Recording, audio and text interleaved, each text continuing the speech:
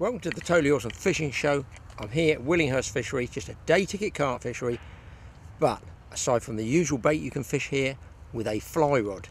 No floating baits allowed with a hook in them, but you can use a fly. Okay, so we're going to give it a go here. Apparently it's a top hole place for go fly fishing.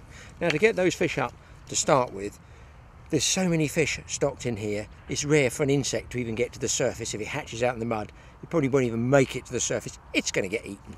So it's not like there's really a hatch of flies as such that trout, uh, trout, carp, went, went trout fishing two days ago, is still in there. The carp are not going to be rising all over the place. So you need to bring them to the surface. To bring them to the surface, you need chum mixer biscuits, floating biscuits, or you can indeed use bread. But biscuits are best, or floating trout pellets. And we use these flies, they're called a hedgehog fly. Very old, I've done this for 20, 30 years. Tied by Sid Knight. It's just straight deer hair, which they then clip back. Generally, they will bleach it white and then stain it or dye it down to the colour of the free samples that you're throwing in the water. So if you're using, let's say, bread, you would obviously want a white deer um, hair, just leave it bleach white. If you're using brown biscuits, which I'm using dog biscuits, then obviously they get you can ask for them to be toned down to the same size as the dog biscuit. If you're using a floating trout pellet, which I haven't got here, but similar thing, deer hair, they would be much darker because there's more protein and oils in them. This would be darker. You can also touch those down with a felt pen. You can darken it yourself. You know, if you've when you buy the fly itself, it doesn't come in the right colour. Don't be too concerned about that. You can dye it down with a felt pen yourself. I'm using a shortish leader of about four or five feet. The reason being you have to pick up and strike quite quickly with a carp. Now how can I describe this? You have to be aware it's a slow take, not as fast as a trout taking a dry fly. It's a slow take but a fast pickup because the minute they're biting on it they want to blow it out again. So you're pausing, pausing, pausing while the mouth comes over it. As soon as that mouth closes, pop with a fly rod, you should hook it up. A shorter leader I find turns over much better on shorter casts, keeps me in connection when I want to do that striking. I've got one reel floating line there, the other reel just as a backup, I think it's intermediate, which means it can float or sink depending whether I want to put grease on it or whether I want to degrease it. So I've got two outfits. They're just regular I think one's, one's all glass rod, the other might be glass and a carbon, they're about 30 years old, one's 40, 45 years old, still going, bonefish rod, and that is an excellent bonefish rod, more than enough for these carp. Now some people actually like to use the dog biscuits hard, just straight out the packet. I like to soak mine, generally do it the night before, and I just cover them with water, give them about 30 minutes, just in a bucket like this, or shallow trays are better, strain all the water off, then get a wet towel and lay a wet towel on the top of them. You might want to go out about an hour later, get the ones at the bottom, put them at the top, vice versa, put the wet towel back on. The next morning they should have all swollen up twice the size. And more important, they should be lovely and spongy. Now, the carp will take hard biscuits and they crunch them up with their throat teeth. That's not a problem. I'm aware of that. I just feel that when I strike, they're used to holding on to a softer biscuit a little bit longer than a hard one. That's just my, my theory, and that's why I like using soft biscuits. I feel they get more confident, therefore I feel they take the fly better. I'm going to start getting some out, see if we can get a few carp to come up on the top in my area where I can present them with that hedgehog fly. You just want to throw about a dozen or so, or you can catapult them out, but don't forget if you catapult them out, you've got to make sure you can actually cast that far. Also, if they drift away on the wind, make sure that you go down the bottom end where they're drifting up towards the bank. Otherwise, you'll never be able to reach them with a fly rod. The benefit of this is you can do lots of patches around a lake if there's not other anglers in the swims and just watch visually and you don't even cast until they start to come up. You don't waste any time at all. A tip I always give trout fishermen is if you don't do a lot of fly fishing you're going to get a lot of this memory coil from the reel spool. You see that? like a clock spring. If you're going all the time, every weekend, probably don't get it. But for a lot of us don't get the chance to go every single day.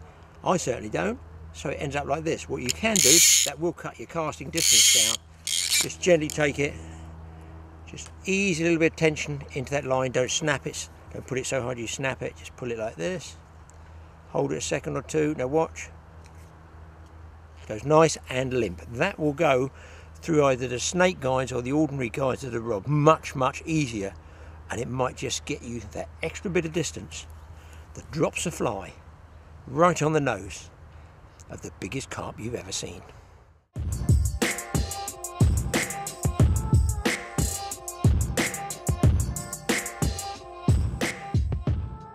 Well guys, fish on here. Get the camera switched on, we see what we're doing. I'm going to strip it in first. If you've got a fish that's running away from you fast, and you, and you suddenly get slack line, he's not literally like this one's now taken all the line out, look. And I'm going to get it on the reel.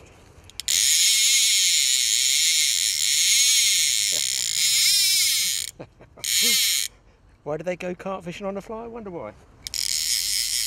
Now I've got it on the reel, I can fight in and keep a bit of tension on it.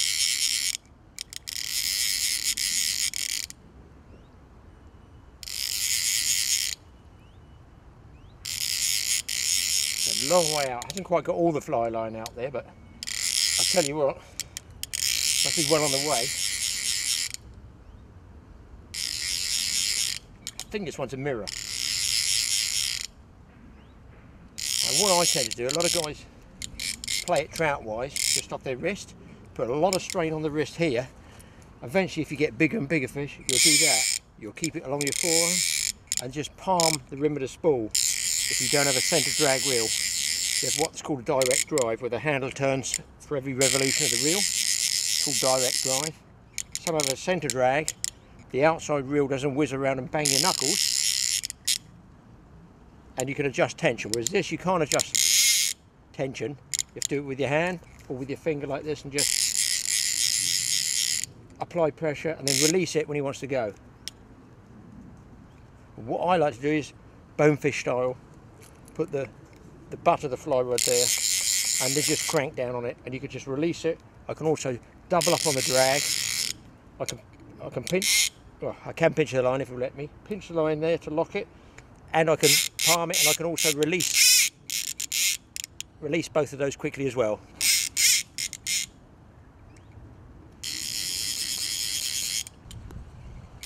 Don't be afraid if you've uh, if you've got a fish on and he's out a long way and he suddenly turns and bolts towards you, just wind down. If you can't keep pace with the speed, walk backwards. Walk backwards with it. There we go, guys. This is a really nice mirror carp. For a fly rod, it's a nice fish. See if I can get him down there for you. There he is, he's to roll. Holy cow, it's a nice fish. That is was, so he was, a nice fish. Get him up again. Where is the net? Man alive, this fish is giving me a bad time.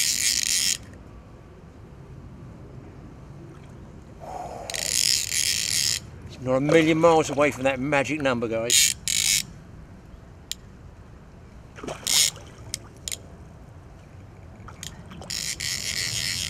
Just hope that fly holds.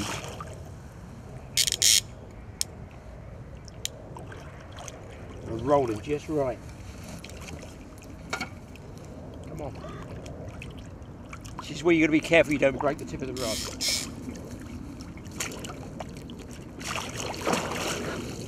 That's a big fish.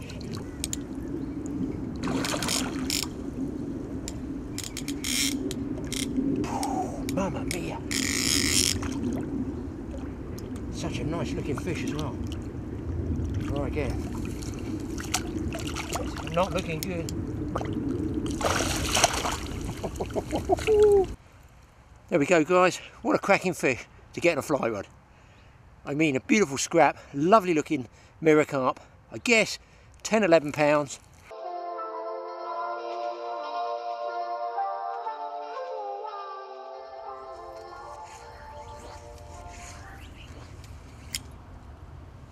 Now another tip you might get, there might be a very,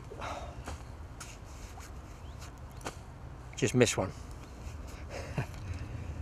there might be a very slight drift that's just easing the fly towards you and it will put little snakes in the line. That's slack. So when you go to pick up where you think the fly landed actually isn't. It might be three, four, five, six feet in front of you, but you can't see that on a vast open expanse of water.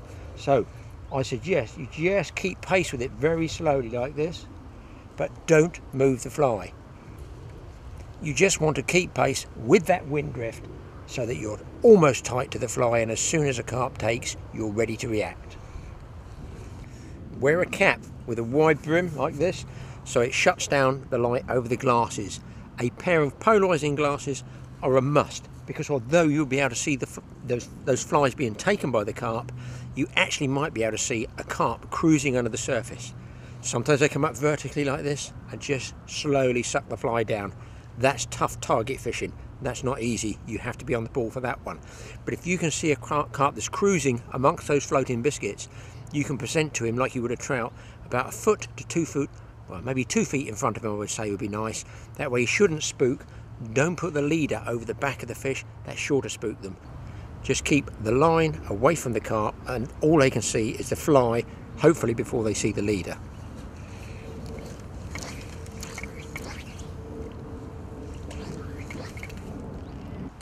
Carp aren't like trout. You can, most of the time, pick the line off the water lay it down again. So if you if you don't get a take and the carp's moving along like this, you want to keep targeting two feet, two feet, two feet. Eventually, you should get a take. And when you pick the line, a floating line off the surface, don't just tear it off the surface. I tend to find if the fly is up there and I've cast that way, I just do a little shake of the rod as I lift it off. It breaks the surface tension of the fly line and it can lift it off and you can just do your back cast and speed it up, get all that fly line out in the air without disturbing the water too much, two or three force casts down. You don't need to force cast loads and loads and loads. Just when you get good with it, pick up, a couple of times, dry the fly off in the air, bam, straight back down on the carp. You want to be in their face within foot to two feet as many times as you can without spooking them.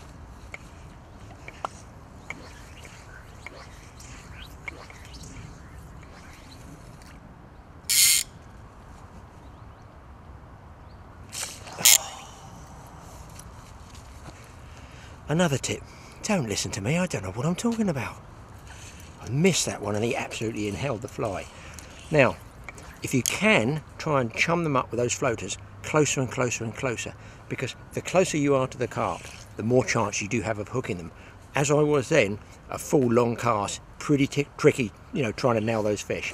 I'm trying to do it because the biscuits are drifting slowly away from me, but if I can chum them closer, that's the way to do it.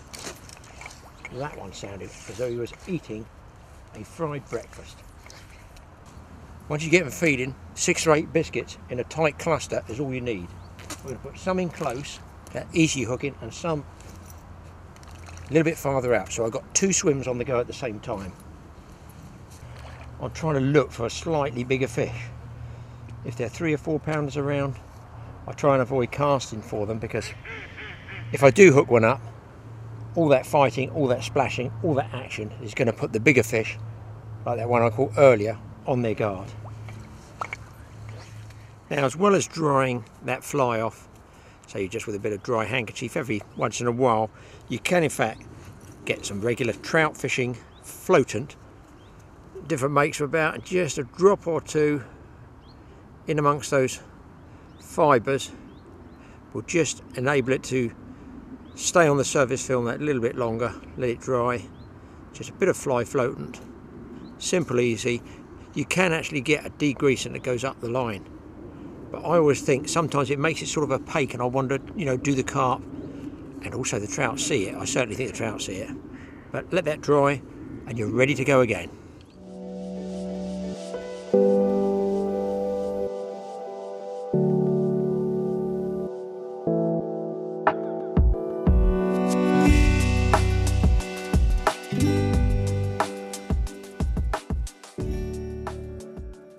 This one's just a small one, chaps, but they all count. Well, the fly's just fallen out. It's barbless. But look at this fish. The colours. I'm talking colours, not size now, guys. Almost. Great big paddle of a tail on it. Almost worthy of a place in anybody's ornamental pond. Now look at that. Is that not the prettiest carp you've seen in a long time? With a huge paddle of a tail. Lovely fish on a fly rod. I think I might go and take a look at one of the other lakes. That is a pretty fish.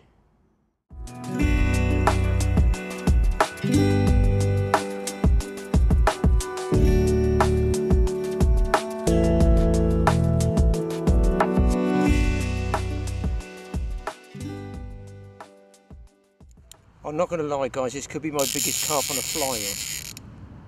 Just come to the other lake, plagued by ducks. And I'm playing it like a pansy like you all do because you don't want it to fall off. But this looks like a really, really nice fish. This one could be well into double figures, I don't know. Looks like a good fish, I'll give Mike a shout. Holy cow man, it's really. Well, I'm all a quiver, I'm all a shake. That's a fly rod unreal. Got a bad mark on his tail, maybe somebody else knows the name of this fish. I don't know the name, I just know it. What do you think, Mike? 15, 16 pounds? A nice fish. That's a nice carp on a fly rod, man. Go. There we go, guys. Fantastic carp on the fly. Got to go 16 pounds. Let's get it back. What a result. Hope you've enjoyed the tips. That is totally awesome for me. Jesus, what was that for? I let you go, didn't I? Soaking. I might as well put myself in the waste leg now.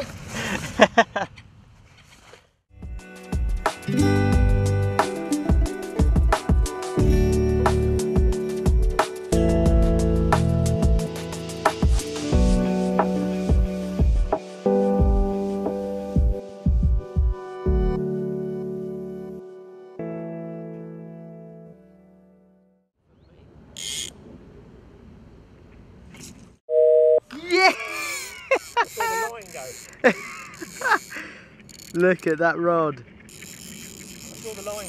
Okay, wait, let me That, that was on a fly. let me take it off. Holy cow, guys, someone again. Guy on the other bite, Banks had one. I cast out full distance I could cast. We got the whole take on Couldn't, camera. couldn't see the uh, I couldn't see the fly. I just saw a tweak on the line. Because I do a bit of trout fishing, I think I said to Mike, I said, you know what, it's two good fish still out there. We were just about to leave, just about to leave after that fish. I think this one's the same size as that last one, but man, what a setup with a hook. Bosh, full range, about, oh, about 25 yards away. Jesus, the rod is hooked over. My buzzers, my electronic carp buzzers, could be on eBay by the end of the week. Oh, that was a cracking strike and take. See if we can see the fish now. As you know, this, this used to be a trout lake many, many years ago when I used to do articles for the fishing magazines. And there were a few carp in there, they were like four or five pounders. We used to see them when we were trout fishing. It's a good fish. It's a good. small carp, I can't believe it. I mean, why would you want a bivvy? The rod is flat. Ridiculous. Yeah, we used to see, I wonder if these carp in here now are the ones I, I saw like 30, 40 years ago when I was doing trout articles. And there's another tip. You know what? That was something I saw at another fishery, fly fishing, that sometimes, man, that's, that's 10, 11 pounds, common. So we all know he's going to go completely over the edge when he gets to the net and the mat. It's the fact they use those little sight indicators, little sight bobs, when the fish are, are taken below the below the surface. So that's another little tip is you can use a sight bob on the line and you could use a fly like a nymph and then you could catapult out sinking pellets, sinking trout pellets and you watch the sight bob pop down. It's another way of doing it. Man alive, I can't believe a second fish like that. So that's two last casts I've had. Two fish. looks like my two biggest fish of the day. And they wonder why I'm always late home for tea. I tell you what, this is scrapping better than the other one. Just got to keep that pressure on them. Get him ten. That's a whacker, too. That's more than ten pounds weight. Yeah, it's a, definitely a double. I'd say it's, a, it's, it's definitely a double. That is ridiculous. I mean, I haven't fished this lake. I just came up and I thought, you know what, I'll go and see and throw some biscuits around. See if my friends the ducks will come out. Yeah, they came out. They obviously thought I was crackers. And then I spotted one about five pounds, but my goodness me. There's some big fish in this lake. Look at that one. God alive, I can't do anything with it. Guys, when you pressure fish, whatever you're pressuring, keep the rod low. Don't keep it tipped right back, because it's going to snap. Keep it low, you'll get more power. Holy smoly. That fish is about 14 pound common. That is ridiculous. Come on. Making my arm ache now. Oh, good lord alive. Look at the size of that. I thought it was about eight pounds. Forget it. That's a big old fish. Greg, oh God Almighty! Good Lord alive! I mean, we'd be made up to catching that on a carp rod, Mike, wouldn't we? Oh yeah, absolutely. Thirteen pounds twelve. There you go. Oh, I haven't got my glasses, so I don't know, guys. Uh, Six ounces. no, hold on, let's reset that. I would have thought even a million miles away from 16. 14 to 16. That is I won't read it. seventeen pounds six. 70, you were right. You yeah, know you he's big. right. I thought he's big You're across the bottom. That is a cracking fish on the fly. Let's have a look. So that's two PBs, guys, in two casts. and what a spanking fish. That's a beauty. Oh, ladies, what a fish that is. I forgot what the weight was. 17. 17. 17 6, I think, or something. Well, it's on the video anyway. Yeah. Magnificent fish. Unbelievable scrap. So, carp rods, buzzers on eBay, going cheap. Fly rods? Well, I've got fly rods, plenty. Not as fast as a bonefish, but plenty of power. What a session. I am covered in fish slime. I'm soaked from the last one. God only knows what this one's going to do to me. But two PBs in two casts on a fly rod. Obviously I caught bigger carp, but not on a fly rod. That was brilliant. I feel a, shower coming. No, he's a good boy. Well done. Totally awesome. Does it again.